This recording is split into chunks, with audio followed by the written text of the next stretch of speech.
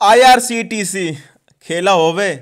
तो देखो आईआरसीटीसी में हमने सुबह ही डिस्कस किया था क्या हो सकता है और वैसा हुआ भी और उसके बाद जब वो डिसीज़न विड्रॉ हुआ आ, उसके बाद आपने देखा रिकवरी कर ली स्टॉक ने तो जिस जिसने भाई जीटीटी लगा रखा था या लिमिट ऑर्डर डाल रखा था सात सौ रुपये के आसपास तो भाई उनके पास अभी आईआरसीटीसी स्टॉक आ गया होगा। और ये मौके बार बार नहीं मिलते हैं। आप सोचो कि कल भी ऐसे गिर जाएगा या परसों इवन कभी कभार ऐसे मौके आते हैं और मौके पर मैं बिल्कुल भी चूकता नहीं हूँ। सिंस थोड़े दिनों पहले की बात है एशियन पेंट में भी सेम कंडीशन आने वाली थी आ ही चुकी थी। क्लैरिफिकेशन थोड़ा जल्दी आ गया उनका। आ, उनमें विसल ब्लोअर ने भाई बोला था कि भाई कुछ एलिगेशन लगाए थे और उसमें भी गिरावट आने का चांस था लेकिन उसके बाद चांस आए नहीं उन्होंने क्लैरिफिकेशन दे दिया।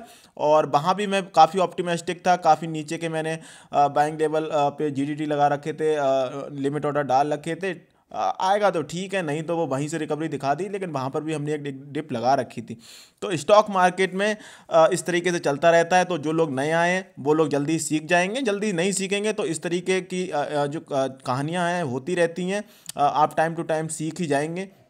और हमेशा टाइम देना है आपको मार्केट में तभी आप सक्सेसफुल बन पाएँगे ट्रेडर चाहे इन्वेस्टर अब बात कर लेते हैं आईआरसीटीसी तो आईआरसीटीसी की सुबह मैंने वीडियो बनाई थी, मैंने आपको बताया था कि इसमें भारी गिरावट आ सकती है और सेम वैसे ही हुआ, दस परसेंट का सर्किट हटा, फिर पंद्रह, बीस, पच्चीस और मैंने कहा था सात सौ रुपये के आसपास मुझे काफ़ी बढ़िया दिख रहा है तो सात सौ रुपये पर खरीद सकते हैं। तो जिनने खरीदा बेल एंड गुड आप अपनी फीट थपथपा सकते हैं, क्योंकि भाई उस समय जो सिचुएशन थी, उसमें ख़रीदना मतलब शायद मुझे ऐसा लग रहा है कि रिटेल इन्वेस्टर ये सोच रहे थे, शायद ये तीन सौ ना चला जाए या दो सौ ना चला जाए। तो उस समय जो ख़रीदा है, जिन्होंने जिन्होंने उस पैनिक सिचुएशन में ख़रीदा है, हम ख़रीदते ही हैं पैनिक सिचुएशन में आपको पता ही है। तो वो भाई ख़ुद को अच्छा समझ सकते हैं भाई कि हमने काफ़ी अच्छा अपनी साइकोलॉजी को ट्रेंड कर लिया है इस स्टॉक मार्केट में, और बहुत ही बढ़िया। अब बात कर लेते हैं, खबर विड्रॉल वाली देख लेते हैं। बाकी मैंने अपडेट कर दी थी उस समय विड्रॉल वाली खबर। Ministry of railway has decided to withdraw the decision of IRCTC convenience fee और ये खबर छाई हुई है। कई सारे न्यूज़ आर्टिकल आपको मिल जाएँगे। हर जगह पे छाई हुई है। देख सकते हैं ministry of railway withdraw convenience fee decision on I R C T C I R C T share price recover after railway withdraw decision तो ये छाई हुई है खबर। तो अब घबराने की ज़रूरत नहीं है। चार्ट पर थोड़ा बात कर लेंगे, क्या करना है, क्या नहीं करना है। तो चार्ट पर देख लेते हैं। चार्ट को थोड़ा सा जूम कर लेते हैं पहले चार्ट को। चार्ट को जूम कर लेते हैं और देखो मैंने आपको बताया था कि यहाँ सात सौ रुपये के आसपास आप एक डिप लगा सकते हैं, यहाँ पर आप जी टी डाल सकते हैं और सुबह ही बताया था मैंने तो जिन्होंने वहाँ ख़रीद लिया, अच्छी बात है। और अभी के लिए अब दोबारा मुझे लगता नहीं है कि सात सौ रुपये के आसपास जाएगा। मे भी हो सकता है यहाँ कंसोलेशन हो, आठ सौ रुपये के आसपास, आठ सौ से नौ सौ के रेंज में, लेकिन अब वहाँ जो लेवल था, वहाँ तो गया तो वो चला गया। अब दोबारा जाने, जाना दिखता नहीं है। हाँ बैक ऑफ़ द माइंड ये ज़रूर सोच के रखना है, क्या पता कल कोई निगेटिव न्यूज़ आ जाए, जैसा मैं कहता हूँ बैक ऑफ़ द माइंड हमेशा सोच के रखना है। मुझे नहीं पता था कि वो निगेटिव न्यूज़ आएगी निगेटिव न्यूज़ आई, मैंने आपके साथ शेयर कर दी, और मैंने ये भी बता दिया कहाँ तक गिर सकता है। उसके बाद मुझे ये भी नहीं पता था कि भाई अचानक से वो अपना जो फैसला है उसको वापस ले लेंगे और उसके बाद रिकवरी आएगी, आपने देखा होगा। तो आईआरसीटीसी पे मेरे व्यू काफ़ी अच्छे हैं फंडामेंटली काफ़ी अच्छा स्टॉक है मोनोपोली का बिज़नेस है। और अब जब डिसीज़न भी विड्रॉल हो ही गया है तो स्टॉक पहले से भी अच्छा परफॉर्म कर रहा था, अब भी अच्छा ही परफॉर्म करेगा। लॉन्ग टर्म का सिनेरियो है तो काफ़ी बढ़िया बाइंग लेवल अभी भी चल रहा है, आठ सौ के आसपास अगर मिलता है तो आप लगा सकते हैं। ऑल दो अब सात सौ के आसपास वो मिलने से रहा तो जिन्होंने उस समय खरीद लिया बैल को नहीं तो आठ सौ के आसपास एक डिप लगा सकते हो, नीचे जाएगा। तो बैक ऑफ़ द माइंड ये ज़रूर सोच के रखना है कि भाई नीचे जाएगा, हो सकता है कल कोई सी और निगेटिव खबर आ जाए, मुझे नहीं पता।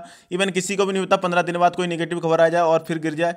तो ये कोई नहीं जानता तो बैक ऑफ़ द माइंड सोच के रखना है अगर वो खबर आएगी तो वो मेरे लिए मौका होगा और मौके पर मैं वहाँ पर भाई और ख़रीदारी करूँगा।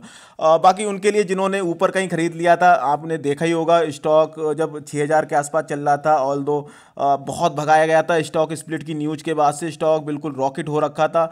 कुछ ही दिनों में पच्चीस सौ से चला गया था, छः हज़ार से ऊपर। और अभी के लिए एक चीज़ और मैं आपको बता दूँ जिन्होंने भी स्टॉक इसको आईआरसीटीसी को ख़रीदा है बाई किया मुझे ऐसा लगता है कुछ दिन टाइम करेक्शन हो सकता है स्टॉक में टाइम करेक्शन हो सकता है कंसोलिडेशन हो सकता है स्टॉक में तो ऐसा नहीं है कि आ, कि ये भाई कल से ही रॉकेट होना चालू कर देगा और फिर ये रॉकेट होते होते भाई ऊपर पहुँच जाएगा तो कंसोलेशन का फेस आ सकता है इसमें इस स्टॉक में ज़्यादातर जो भी स्टॉक स्प्लिट होते हैं उनमें कंसोलेशन या गिरावट होती होती है। और आ, इसका आईआरसीटीसी का आप पहले का भी प्रीवियस चार्ट देखोगे अगर उठा के तो वहाँ पर कोविड के बाद इसमें गिरावट हुई थी। 900 800 के आसपास गया था। उसके बाद ये 10 ये एक हज़ार से बारह तेरह सौ, चौदह सौ, जहाँ पे वापस आया था, लगभग लगभग एक साल कंसोलिडेशन किया है। तो भाई पेशेंस आपको पता है की है स्टॉक मार्केट में। तो पेशेंस जिन्होंने रखे थे, उनको बहुत ही अच्छे रिटर्न दिए थे। कुछ ही दिनों में इसने ढाई सौ, तीन सौ, साढ़े तीन सौ परसेंट के रिटर्न दिए थे। और जब लोग इसके पीछे भागना चालू हुए, जैसा मैं कहता हूँ मोमेंटम चेस नहीं करना, वहीं से पर ऑपरेटर और भी बड़े बड़े जो ब्रोकर्स होते हैं भाई उन्होंने स्टॉक को गिरा दिया और फिर हमें रिटेल के पास तो इतनी न्यूज़ होती नहीं है तो उन्होंने माल यहाँ पर भी निकलवा लिया जो आज गिरावट हुई थी। और हमारे जैसे जो बंदे थे हमने तो गाइड किया भी था कि भाई यहाँ पे माल खरीदना है ना कि बेचना है। और सुबह भी मैंने बताया था कि लॉस बुक करने की ज़रूरत नहीं आई ऐसा स्टॉक नहीं है कि उसमें लॉस बुक किया जाए। काफ़ी बढ़िया फंडामेंटली स्ट्रॉन्ग है। आ, काफ़ी बढ़िया परफॉर्मेंस दी है और आने वाले टाइम में भी अच्छी परफॉर्मेंस देगा। बस आपको होल्ड करके रखना है लॉन्ग टर्म के लिए। आपका सिनेरियो तीन से पाँच साल लंबा होना चाहिए। आप सोचो कि दो महीने, तीन महीने में कुछ होगा तो वो नहीं होने वाला। तो जो मेरे व्यू थे जो मैं आपको बताना चाहता था, वो मैंने बता दिया। अभी भी लॉस बुक करने की ज़रूरत नहीं है, अगर ऊपर कहीं खरीदा हुआ इवन जब भी नीचे जाएगा तो वहाँ पर आपको कुछ और क्वान्टिटी ऐड कर सकते हैं। और कई सारे लोगों के ये भी सवाल थे। स्टॉक उनको दिख नहीं रहा किसी किसी ब्रोकर में तो भाई कहाँ से सेल करें? तो भाई वो स्टॉक नहीं दिख रहा, कोई बात नहीं, दिख जाएगा, एक दो दिन में हो सकता है आपके ब्रोकर उसमें मतलब कुछ भी हो। तो बाकी आ जाएगा, दिख जाएगा आपको एक दो दिन में, बाकी आप ब्रोकर से भी अपने भाई उनके कस्टमर सपोर्ट पे बात कर सकते हैं। वो ज़्यादा अच्छी तरीके से बता सकते हैं, लेकिन आपके स्टॉक को आ जाएगा, आपका ऐसा नहीं कि आएगा नहीं, किसी किसी के में आया भी नहीं बोला, स्प्लिट वाला स्टॉक तो उसमें टाइम लगता है थोड़ा। ऐसा नहीं है कि आपके भाई वो स्टॉक कहीं भी भाई भाग जाएँगे या कोई लेके चला जाएगा तो ऐसा कुछ नहीं, वो आ जाएँगे।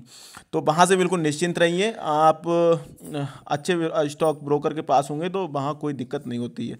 और यही मेरे व्यू है, बाकी आपकी मर्ज़ी, आपका पैसा अपने फाइनेंशियल एडवाइजर से पूछ सकते हो, अपना एक व्यू बना सकते हो। सुननी सबकी है करनी है अपनी चैनल पर आया तो चैनल को सब्सक्राइब कर लेना। वीडियो को दोस्तों के साथ शेयर कर देना। चाहिए दोस्तों।